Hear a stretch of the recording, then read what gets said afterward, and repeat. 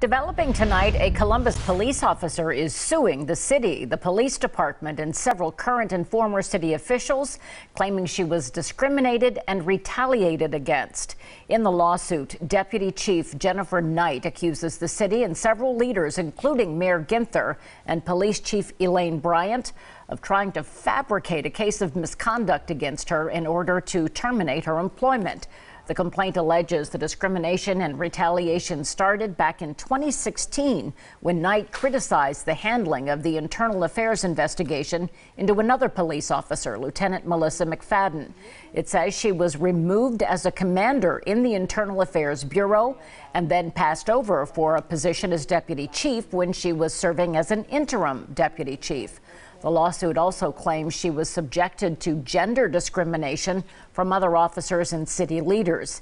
In November, Knight was temporarily relieved of duty after she failed to go to a mandatory drug test, she says, because of a scheduling conflict.